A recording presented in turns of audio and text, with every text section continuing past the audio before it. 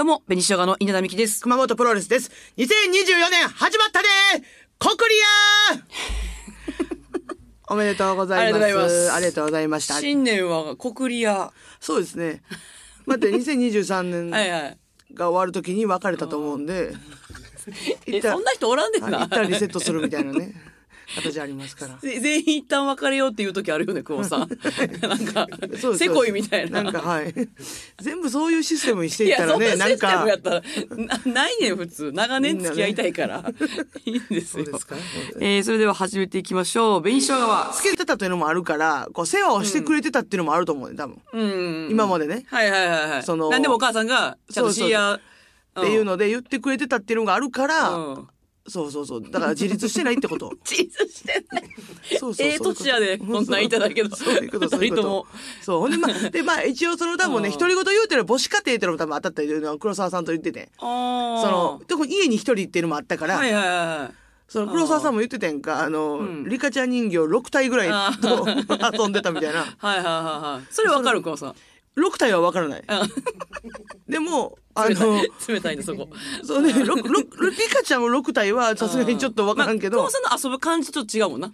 そうリカちゃんで遊んでるイメージないもん、熊本さんなんか。あ、でも私はバービーよ。あバービーで遊んでたよ。バービーと、バービーとリカちゃんと、うんポケモンのあの指人形みたいな流行ってた時期やから、ポケモンの指人形と、はあと、えー、なんだっけ、えっと、レレゴみたいなのも流行ってたから、うん全部一応持っておいて。あレゴも？そそいつらを全部を一つの国にして、うん。その、行き来させて遊ぶっていう遊びやってたから、ポケモンとバービーとレゴがリカちゃん同じ6体は別に、それおかしいって言える立場じゃないって。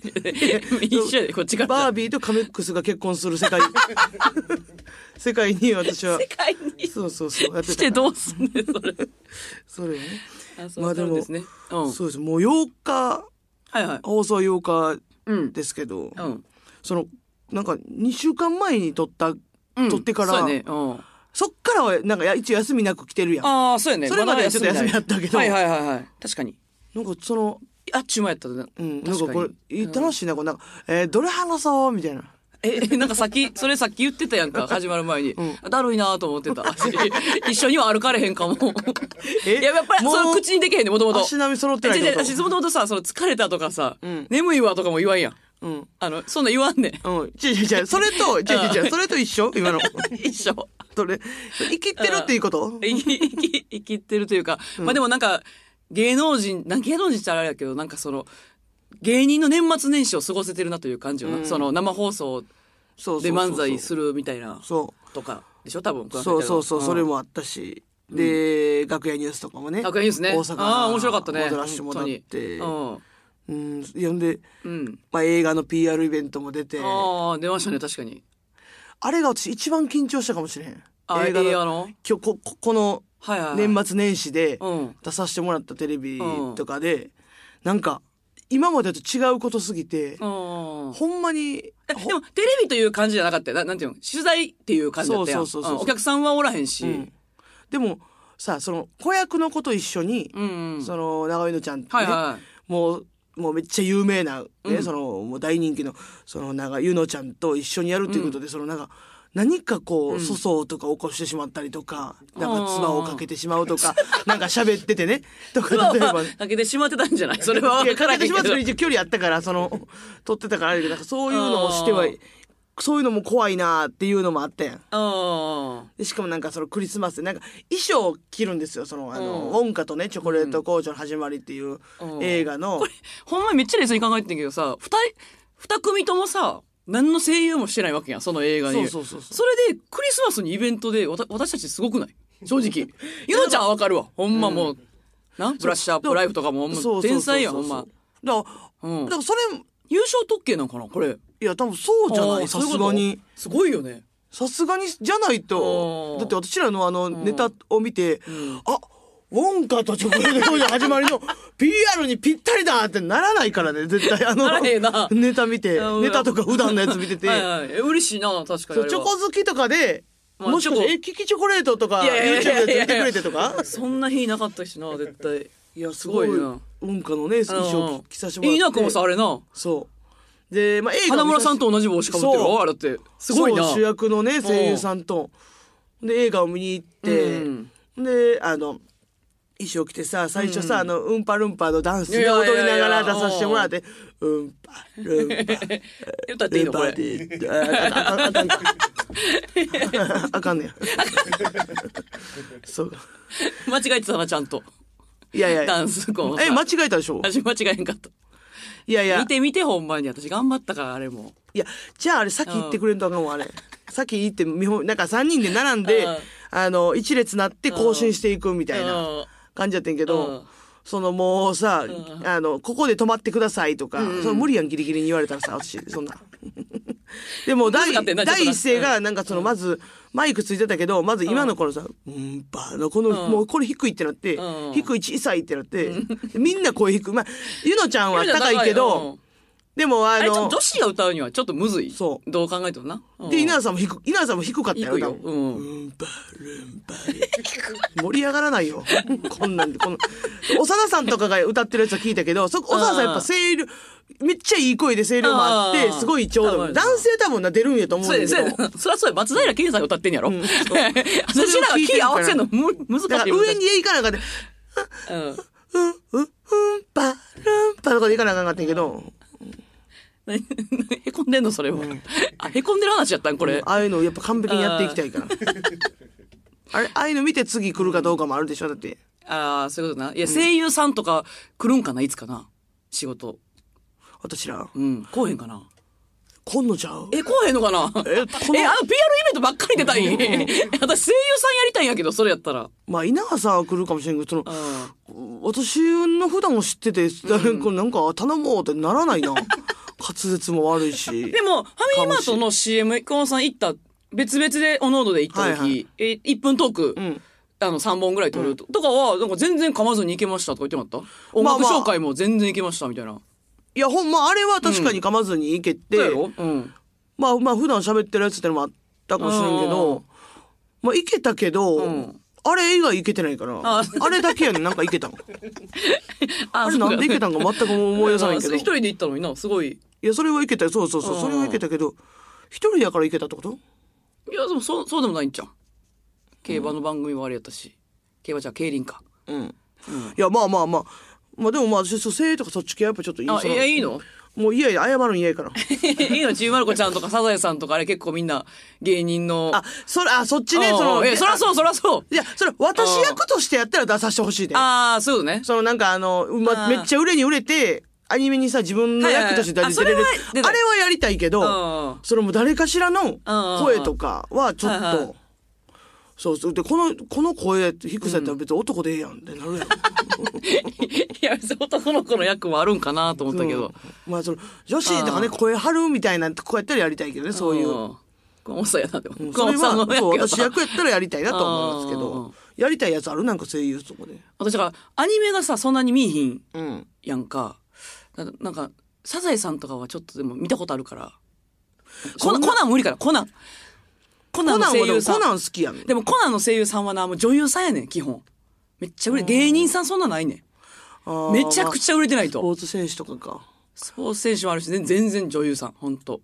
エイクラ奈々さんとか。うーん確かにな、うん。でもまあ女優さんやから女優さん？女優さんやんいいかな今年も女優さんって私舞台女優さんとは言ってるけど、女優さんとは言ってないよ、私。いやそれぐらい強気で言ってくれないと、そこは。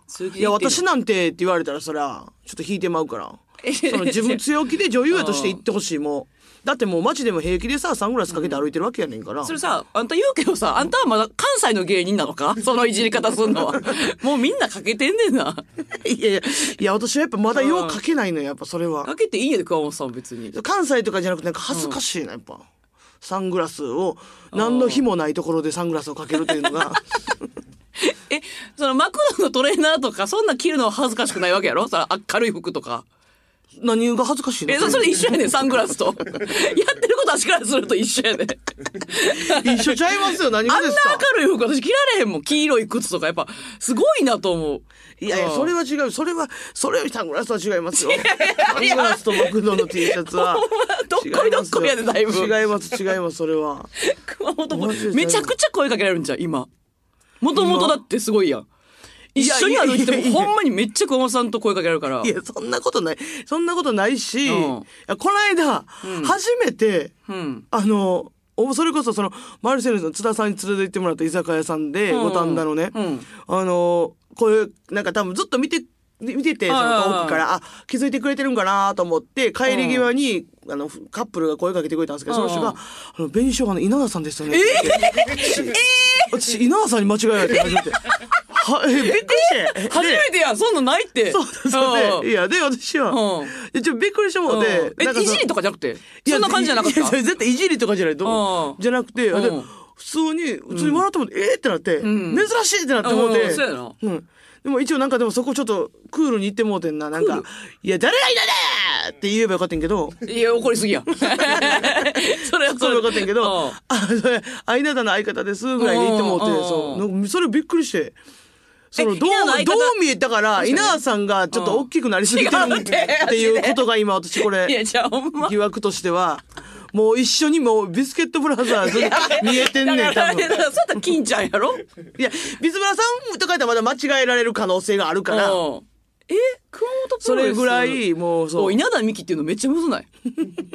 もうだからそれぐらい見分けつかんくなってきてんねん、もう。え 何もかも。向こうの。人はびっくりしてた。相方の熊本ですって言った時。え間違えたみたいな感じになるいや、なんか、あみたいな感じだったから、多う分ん、まあ、正直、多分名前、うまあ、名前を知らんくて、うん。調べ、調べてえ、調べてもやで。絶対熊本さん調はべて、で、写真見て、あ、うん。こっちだ。しっかり間違えられてるやん。稲田、こっちだ。ってなって、で、私もさ、プライベートやからさ、稲田。赤いリップ塗ってないし、ももう見た目のこれやろ？でも輪オーバーオールやろ？とか、オー輪郭とか、シショートカットにさもうしたことないねん。何十年も。なんか雰囲気だけでそう見られたということですから、これ、これ結構なんで私が恥ずかかしい話なんこれ結果。え嘘や。私がこれ深刻な話や40でキロ違うんやで私マジで。これちょっと考えめっちゃ言われるわでも大きなってるわとか。うん。だからそのびっ、くりするわほんま。それがバカバレ、なんかもうバレてると変わってないのにな。ほんまに。いや、でも、うん。確かに、顔が大きく見える体重は変わってないかもしれんけど、体重全然変わってない。うん。例えば、ちょっとあった筋肉が、ちょっと脂肪に変わったとか、そっちなんかな？なんか、うんなんか最近首太いって言われるやんか？首太いめっちゃ言われる確かに、うんなんかそんな太くなかった気する。あーそうおなんか、おの、2、3年目とか、私ら一緒にやっておる時とんとかめっちゃ言われる。そうネックレスギリギリ、なんか、はち切れんな、かわいそうやな、とか言って。おとんがおとん言ってくる。無視。腹立つ、ほんま。でも、うん。首から太る人ってあんまおらんから。そうやね。前さ、大久保さんとかにさ、え、首鍛えてんの？って、首鍛えてるってさ、なわけない、なさすぎるやん。うん。びっくりした、ほんまに。自分でももう首太っと思って。うん。だからすごいことやんね。だから顔も絶対大きく見えると思うね。顔大きいけど、もともとな、熊本さんは絶対大きいんだけど。首太っ。男性からして羨ましいやろな、その首、太、首を、太、首太くしたい人山ほどおる誰そからさ。れ？そうなん、首太くしたいの？うん。大食いの人がさ、首鍛えるのみたいな感じなん、今。ちゃうんかな？首鍛えへんのかな？大食いの人。鍛えるっていう大食いはまあ鍛えるというか、まあ、鍛えていくことになるやろうけど、うんで内側からやから、稲田さんの外側からでしょ多分その。なんやねん。わからんけど。風みたいな、その。あ、そうなんや。確かにね。確かに。いや、それ、あんま結構、有識ことやな、熊本さんと私が間違えるっていうのは、気をつけていただきたい、皆さんに。今、いや一個だけ嫌なこと言っていい？全然いいよ。あの、じゃあ確かに今、んその、はち切れそうってお父さんが言ったって言ってて、お父さん言ったよそのやっぱ、そのチャームが、やっぱその、こう、喋るたんびに、こう、上に、上に上がる、上がってるもん。も もう、もう切れるやん。切れ待ちやん。う喋るたんびこうやって、パカパカ、貝、貝みたいに。なってないやん貝いや、なってんねん、なってんねん。貝みたいになってるわ。それ。もう喉仏あったら終わってただけ。ない、ないからギリギリってだけなんですよ。うん、あ、結構あるかもしれません。ああ、もうまた問題ですわ、ほんと。いや、まあ今年はね、だから、うんなんやねん首細くしていきます細くしていきましょうね そんな目標なかったんけどな。えーということで、好き好きでは各週でリスナーさんからテーマ募集しておりまして、まあお正月ということで、はい好きな餅の食べ方ですね。はいあ、お正月じゃないか、もう8日はもう。まあまあまあもう皆さんもうどうやって食べたんでしょうかという好。きな餅ね。はい。餅の食べ方。うん。まあでもそもそも、ねえ、餅をちゃんとまだ食べるのかというところも一個。えー今4日、久保さんは何個か食べました？私はまあ、うん一個だからその劇場がね、はいはいケータリングでお雑煮置いてくれたりとかしてるのがありがたいな、それを一個食べました。あでも一個。私も一個。やっぱ二杯目以降はもう餅抜きで食べるから、餅抜き？餅抜きで雑煮を飲む、あ飲む、飲みたいから。はあ、はあはあはあ、そうやな食べてないね、じゃあ、ほぼ。まあそうやね、ちょっとな、あんまうり、ん。元も子もないことを言うけど、そうあんま食べない、その餅をずっと、まあ言ってはずっと言ってはいることやねんけどね。まあね。嫌いじゃないねんけど、うん。うん。いやうん。お腹に溜まりすぎるから正月っていっぱい食べたいからっていうのでね。エビとかいろいろ食べたいしってことそうそう。だからちょっと教えてほしいねんその、はいはい。美味しい餅の食べ方を。えー、まあ、ダントツ1位のあら、餅の食べ方ですね。1位。もみじさん。テーマの好きなお餅の食べ方ですが、私は砂糖醤油です。これは祖母が食べさせてくれた味付けなのですが、電子レンジでチンして温めたお餅を砂糖とお醤油を混ぜたタレにつけて食べさせてくれていました。これは甘じょっぱくて無限に食べられます。そのためお正月はブックブックに太ってました。海苔で巻いたり七味をかけたり、いろんなバージョンで楽しめます。とですね。砂糖醤油か。やっぱそう、まだまだそうか。実家やとこれが一番出るかな。そうやな。うんこれ、確かに甘じょっぱいな。食べない？そんなに？食べないな。あ、食べへんねや。うんえー砂糖醤油が一番食べないから、その、ちょあー、ほんまに？っと別々で食べたいというところやな、やっぱ。え？甘いのとしょっぱいのだからほんまに別でいきたい。あー。からはははははは味付け的にそもそも。だから濡れおかき的な味付けやもんな。だからこれってな。あー、まあそうやね。ん濡れおかきは確かに。濡れおかき食べるな。え濡れおかきは食べんの？濡れおかきは一時期ハマってる時やったから。あの、でもあれ甘じょっぱいで。せたこれ食べるや砂糖醤油の餅食うんやったら、うん餅食べるんやったら、うん。濡れおかき食べるわ。今日最悪やな。何何これ送ってきて。え同じ味付けと言われ。餅は食べへん。えおせんべいは食べます。お願い。はいお願い。ううならしてくれよ。違う違う違う。私たちは何のために送ったんだ？いや、文句を言いたいわけではないですよ。文句を言いたいわけではないですけど。1位に立てついたら、もう結構まだまだそうなんだというところはね。うん。そうやで。まだまだ砂糖醤油なんだという。えー、ふわふわ、ふわんりさん。私が好きなお餅の食べ方は、稲荷餅です。はあはあ。本来はいなり寿司用に売っている味がついているお揚げの中に餅を入れて、レ電子レンジで柔らかくなるまで温めます。いなり寿司の甘い味付けとお餅の相性が抜群で何個でも食べられてしまいます。これな、これ自分で多分手作りする人もじゃああーすごいねおんねや、ちゃんと。あのー、売ってますよね。もう、そう、餅吉。これ、あれ美味しいね、ほんまにこれは確かにうまい。もち吉。あれはどこでも売ってるんかな餅吉は。スーパーで置いてないんかなわあでもあんま見置いてないからこれ作ってるんかなそうちゃうう。わ、これいいな。これね。これは好き。これは、甘いです。作ったことはないけど、うんそのもち吉のは好き。使ったことあるよね、絶対。うんうわあ、美味しいな。クックパッドの餅のアレンジとかでも結構上位に出てくるな、これ。ああ、そうなんや。うん。これな、これでもいきなり流行ったような気がするけど、もち吉からかな。もち吉からちゃう。うん。もち吉ってほんで言いたなんねんな。もち吉。もち吉、もち吉、もち吉。もち吉。言いたなるからも。ち吉です。これ、稲荷餅ね。稲荷餅って言うんか。そうか、そうか。何個食べれんねやろ、これ。あ、やって、やってみてくださいよ。ややってみましょうよ。何個でもいける。何個でも何個でもいける皆さん、皆さんさ、わけじゃない2回2回、2個のともな、何個でも食べられますが言ってんねんけど、ほんまか？あちこれあんま信じてへんねんけど。餅は確かにな。何個でもいける？正 ?3 直ちゃう？女子。女子3や思うで。3個目はもう結構頑張ってるよ。頑張ってるよ。うん。それで餅ってそこやねんな。ん何個も食べられへんねん。次行きましょうか。はあはあ。えー、青さのりさん。はいバイト中にいつも楽しく聞いてます。ありがとう。好きな、ありがとう年下、小学生は思って勝手にバイト中さんやと思ってまあまあね。好きなお餅の食べ方ですが、私はお雑煮のお餅をきな粉につけて食べるのが大好きです。なるほどね。ほうにつけた後に、きな粉につける甘じょっぱいか結局。えー奈良県ではこの食べ方をする地域があるみたいで、えー小さい頃からこの食べ方でお餅を食べていました。さらにおばあちゃんから、小芋もつけたら美味しいよと教えてもらい、お雑煮の中のお餅と小芋は必ずきな粉をつけて甘々で食べてます。はあそれを食べると正月を感じ、今年も始まったなと感じるぞと思う。頑張るぞと思います。奈良の地域の。ええ小芋って里芋よね、これ多分。うん。里芋をきな粉につけるというのがどんな感じなんやろうか。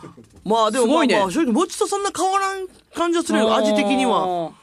いやーでも、でも、お雑煮で、なんていうの？しょっぱい感じにはなってるそうやな。から。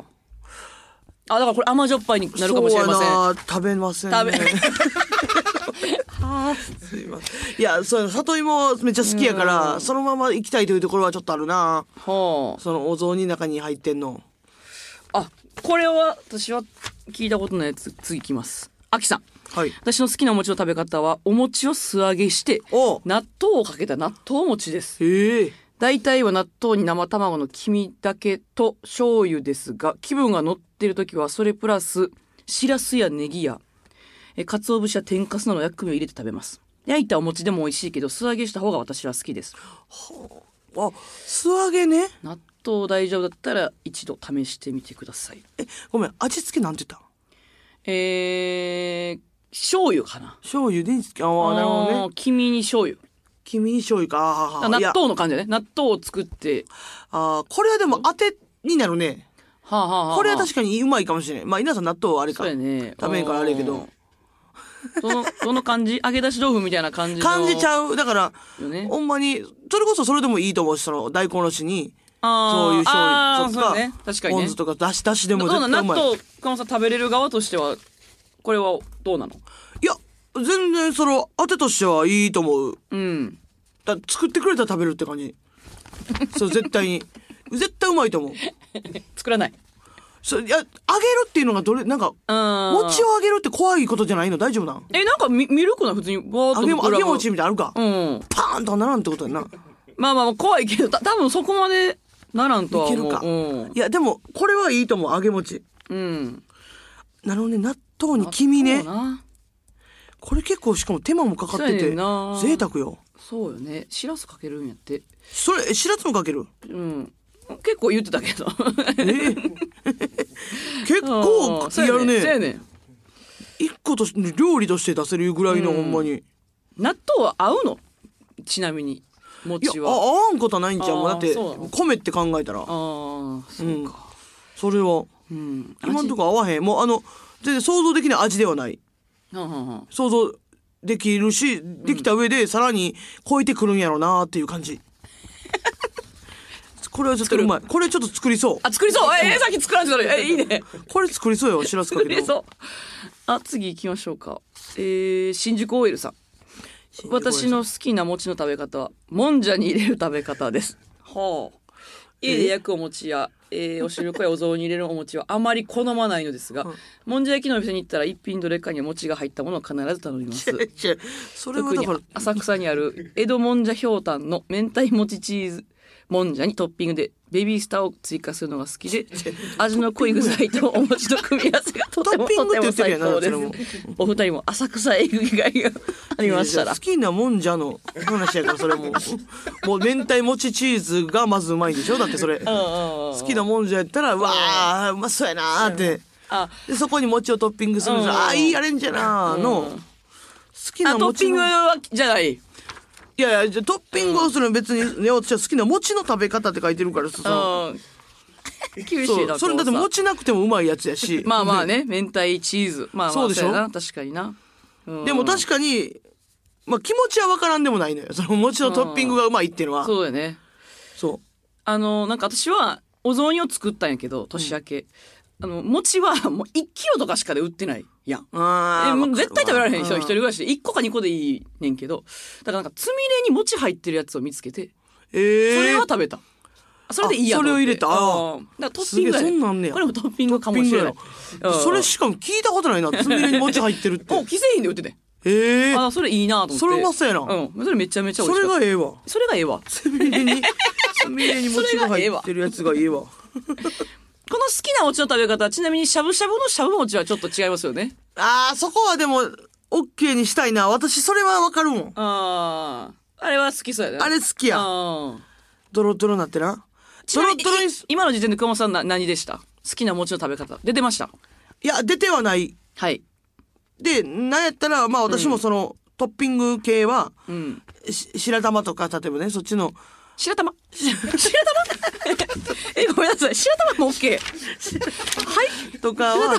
白玉？はマジでめっちゃ白食べる。玉はまだちょっと違うんじゃないですか？わかるよ。さ白玉怖いからね。あれはね、あうんでも白玉も結構まあ餅砂糖醤油とか？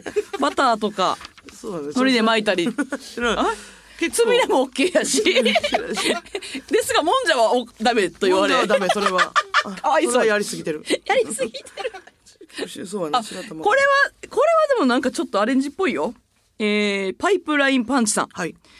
えー私の好きな餅の食べ方。は味噌ラーメンの残ったスープに餅を入れて食べることです。へえ私の家族は正月はご飯を作らないと決めているため、うん。昼ご飯は各自で作らなければいけないのですがいつもインスタントラーメンで済ませていた私も成長するにつれラーメンだけでは物足りなくなり余っていたお餅を入れたところとても美味しいことに気がつきました。ラーメンの濃いスープが餅にとにかく合います味噌ラーメンであればコーンを餅で包んで食べる。醤油ラーメンであればメンマを包んで食べると食感も楽しめて美味しいです。どうだ？いやちょいやいやいやまあそれはでも全然いいと思う。でん初めてじゃない？味噌？ラーメンに合う、うんうん。うん。でそれはめっちゃわかる。味噌汁に入れるみたいな食べ方もまあやる人おる。味噌汁。味噌汁あるからわかるけど、はあはあはあそうコーンを挟んではちょっとそこはちょっと審議やな。いや白玉よりは全然ええで私からしたら。そんな何粒も何粒入れて、うわーとならないちょっと。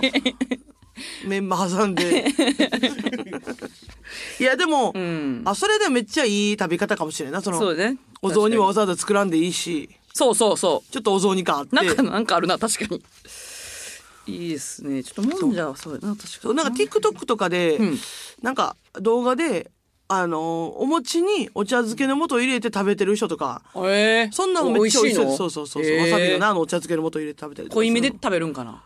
ちょっとお湯少なめでやるんかな？あでもちょっとああのお湯を入れてちょっと結構何やろあのー味薄めぐらいの感じであ薄い方がいいんか。へえちょっと優しい味ぐらいで食べはいはいてるイはい、はい、メージやけど、TikTok でそんなんも上がってんの？うんなんか上がってる。料理系があるんか。そうそうそう。へあれないんやななんか海苔とチーズ巻いてみたいな。えいや多分。ああったまる。多分絶対ある。熊本さんがそんなんはもうもう当たり前やでみたいな感じで。なってるから、うん。できるだけ餅をちっちゃくして。だからなんかあの薄くしてあチーズと海苔で当てみたいな。薄く食べれる食べる感じがいい。そんなんじゃなかっていうのをそのねあ当てとして食べるにはね。もう餅じゃなくていいやん。薄くしてとか言い出したら。餅の食感とかいるから。山芋とかでもええやん。なあんたが言いたいことやったら。薄くしてね食べる。え稲田さんは？え私は言いましたもうつみれであったりとか。のそれが一うん番いいってことね今。いやそれがえー、もう真理や私砂糖醤油やで。そら実家おったら絶対。あ砂糖醤油砂糖が好きなんや。醤油めっちゃ好きやで。あそうなんや。自分でやったら美味しいない。ねもうなんかお父さんが一回チンしてからもう一回焼いてつけんのがもうめっちゃ美味しいねああの配合が分からへんねなるほどね。うん。あと一人で食べてもあんま楽しない餅。ほんまにそう。もう一人であ餅って人 みんなで食べた方が美味しいんか。餅絶対そうやねんこれ。うんいやでもいろいろ様々なありがとうございました。やめもうやめようなこの餅はじゃあ。いや、やめような。違う違う違う。白玉とか楽しかったでき話話してて、その私が、楽しかったでって いや、いろいろね、送っていただいて。えー次のテーマですが、えー好きなバイトでお願いしたいと思います、えーまあ今やってる人でもね、別にうん。昔やってたやつとか、そうですね。やってなくても最悪。あ、その、いいとね。楽しそうとかでもいいとかうんでもいいということで、えーメールアドレスベニアットマーク JOCR.jp までたくさんのメールお待ちしております、はいということで小話いけますか熊本さん。はい。はい、えーでは紅しょが好き好きここまでです。皆さんさよなら。あのーまあ、ちょっとまあ、逆に、えー新年明けてめでたいと言いますか、みな話なんかもしれないんですけどね。あのーまあ、稲田さんは昨日、まあ、ぼそっと袖で言ったから知ってると思うんですけれども、あの、昨日ね、こうなんかサンシャンシャンズの、なんてサンシャインシャンズ。サンシャインさんの。サンズやで頑張って聞いたら。サンシャインさんのね、様子出させてもらって、こう、あの、久しぶりにね、あの、ん。その、昔ね、うん。大阪時代にずっとやってた、その、なんか赤ちゃんをあやすみたいな、こう、ネタをね、まあ、やらせてもらって、で、そのネタの下りの途中で、うん。その、あの、なんてその、ちょっとおし、ね、漏らしてしまったんですよね、そのね。急に出てきた、はい、で、うん。うん。で、で、まあ、それ稲田さんには、で、私、稲田さんにも袖帰ってね、うんごめん、ちょっと漏らしてしまったって、うん。あの言ったと思うんですけど、本当になんかあのそのタイミングが自分的に、あなんかそのあめでたいタイミングじゃないですけれどもあすごいいいタイミングやっで漏らしたなって思ってそれが、はあまあ、どこかどこで漏らしたか言ってなかったと思うんですけど、そうそうそうそう。そのこうネタのな下りのと,、うんところでそのまあ私が赤ちゃん稲さんが赤ちゃんを連れてきてくれてであのこうあやしたいみたいなネタなんですけどこう私がちょっとまあねいろいろやるからもう私に抱っこさせたくないみたいな感じのねうん。流れで私がその赤ちゃんと接したすぎてあの急にねあの立ってたのをガーンってしゃがんで、うん。やめてよみたいな私もうん。そのめちゃくちゃその母性余ってんねんっていう、うん。私のさまみたいなうん。溢れてこぼれをしたさ母性をさみたいなうん。ところのその母性母性がもう余れて溢れてんねんのところでおしっこ漏らして、そのちょうどちょうど母性のタイミングで漏らしてでちょうどや。それをわーって叫んだ後に、うん。そのあの見てられないですよねで自分で言うのが 本当にあの本当にあの黒帯の寺内です。大西です。毎週火曜夜11時頃から配信中。ラジオ関西ポッドキャスト黒帯のブロンドスポーツ足研究会。ぜひフォローしてください。主に政治経済を中心に取り扱っております。全く違います基本下世話なお話をしております。よかったら聞いてください。お願いします。